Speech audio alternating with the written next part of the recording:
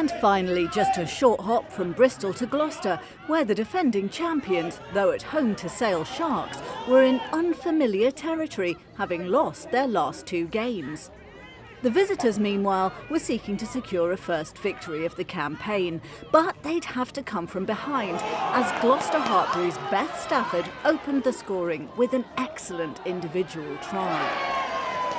The Sharks came to this off the back of a comprehensive home defeat by Bristol Bears, but they showed admirable resolve. Sophia Stefan taking advantage of a wayward Gloucester Hartpury line-out to get her first of the season, and they were level pegging at the interval.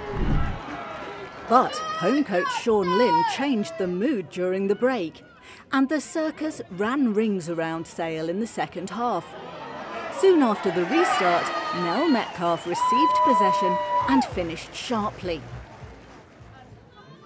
And Neve Jones scored two in a row, first from a driving maul in which Gloucester Hartpury demonstrated their strength,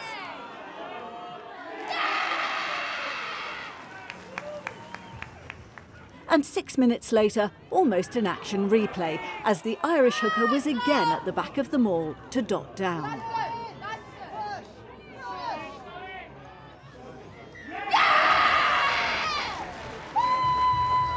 After those two near identical tries, one that showed the style and skill of a team seeking a historic third title. A flowing move, quick hands, and Charlie Woodman crossed for Gloucester Hartpury's fourth of a dominant second half and her fourth in three Premiership appearances. The Sharks had the last word. Trudy Cowan, like Stephan, with her maiden try of the season, but it was only a consolation. The northern side suffered a fourth successive defeat. 27-14 the final score. The circus back on track.